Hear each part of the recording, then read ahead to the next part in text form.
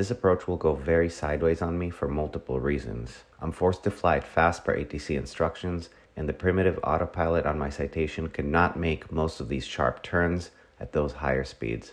Therefore, I'm forced to use many tricks to help it find the way. Also, this is a very technical approach. It's not like the terrain heavy approach into Aspen that everybody makes a big deal about. For the RNAV 34 into Renton, the devil is in the details. Let's look at it quickly and see why.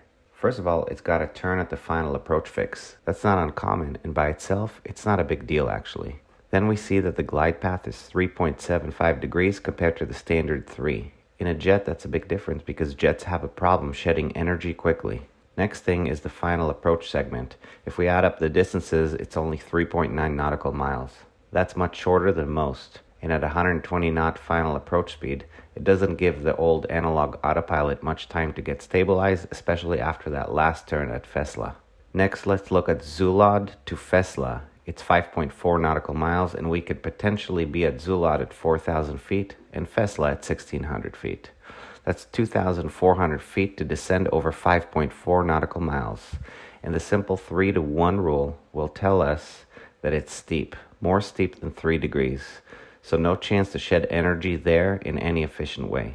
None of those tiny details are big problems by themselves, but added together, it's something to keep an eye on. Again, I'll be forced to fly it at 170 knots, and the old analog autopilot will not cooperate. 3000 armed around heading mode.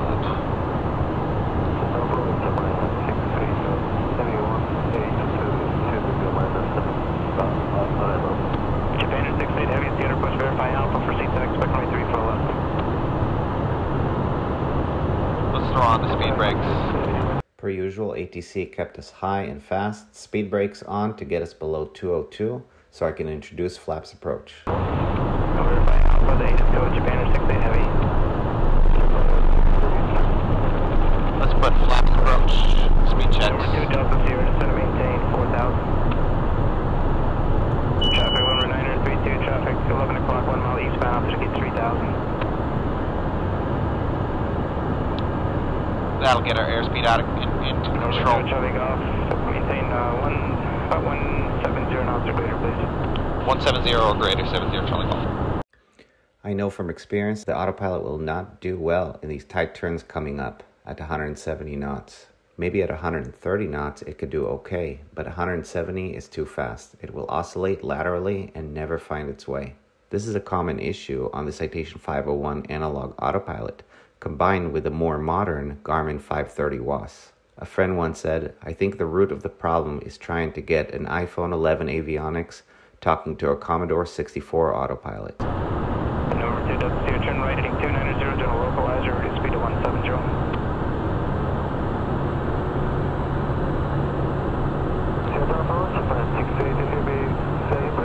Stand by, Japan Air. 3000 70 armed. Charlie Golf, turn left, heading at 340, join the final approach course. 340 to join the final approach course, 70 Charlie Golf. Join the final approach course, as you guys already know, means follow the lateral path of the approach, but we must maintain our last cleared altitude. Therefore, nav mode will be turned on soon.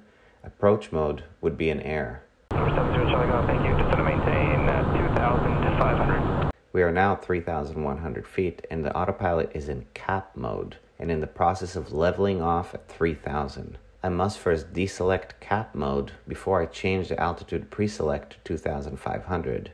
If I don't, the autopilot will pitch down to 20 degrees to find 2,500. It's quite scary. As far as I know, all Citation 501s have this faulty and nasty behavior. 2500, 70 Armed. November 2 Delta Sierra, just to maintain. If you haven't realized already, I'm not letting nav mode deal with this turn. At 170 knots, it will fail. I'm babysitting it with heading mode, getting it very close to the final approach course, then I will activate nav mode. This is my remote control knob for the heading bug. Uh, actually maintain 3,000. I'll leave it roll for you momentarily. Busy, busy, busy. Yeah, why is it so busy today? I know.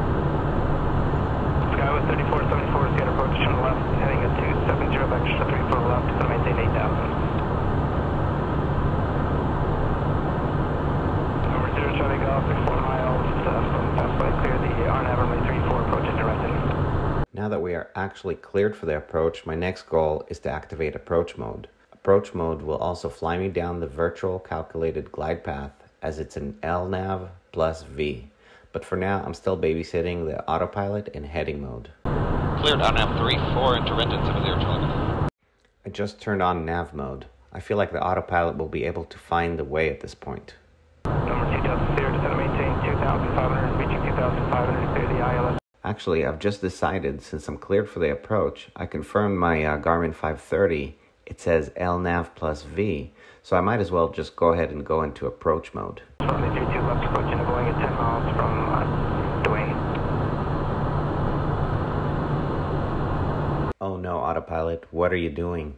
I know what you're doing. You feel like we're too left of course, but this right turn is much too aggressive.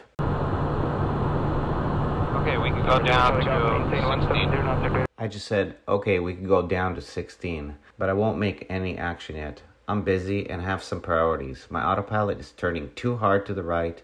I need to sort this out first. If I do too many things at once, like go into vertical speed mode down to 1600, I may forget to arm the altitude hold and potentially blow through this altitude. Again, my biggest concern now is the autopilot potentially taking me off course. I don't want to be too low if I'm not on course. 5 mile final contact to Renton Tower. I'm adding power. I fell below 170 knots. It's almost like I subconsciously slowed down on purpose because it's the source of this mess I'm in. I've also just been told to contact tower, another task to accomplish. Contact tower 70 Charlie Golf 170 or greater. Back to heading mode to get the autopilot back on track. The old me would have just disconnected the autopilot and hand flown the rest of the approach. Going to heading mode canceled the approach mode. The approach mode is gone and I'm still level at 2500.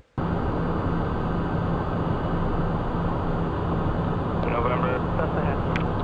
Slug short of autopilot.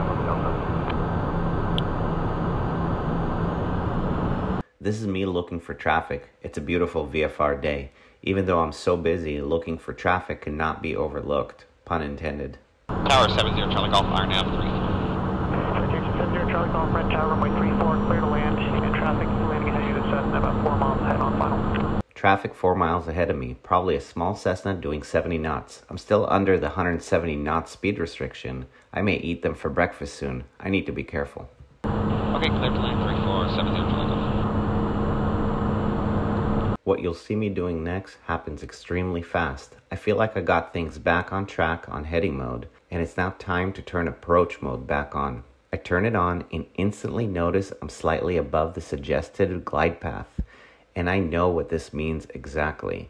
It means the autopilot will not descend. It must capture from below, or it will not capture. So I immediately turn off the autopilot. I give up with the autopilot. Back to hand flying. Fooling around in pitch mode or vertical speed mode just doesn't seem like the best idea right now. Okay, didn't the approach. able no delay. Alpha 6, Cessna 2. All traffic on Alpha's right side, please. 6 Hill, ground taxi, Park View Alpha. Modern ground taxi, Park Alpha,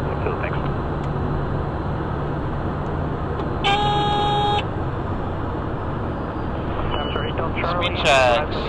You're down. Landing lights, ignition, pressurization.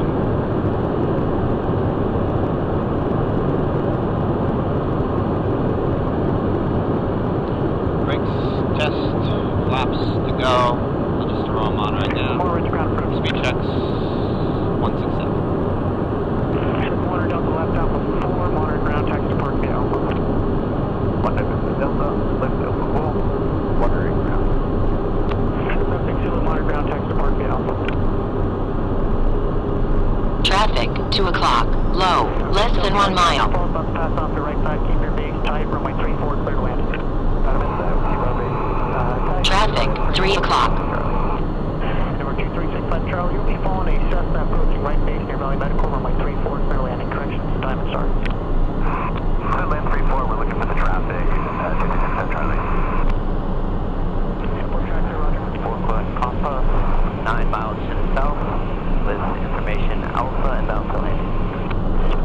current target level.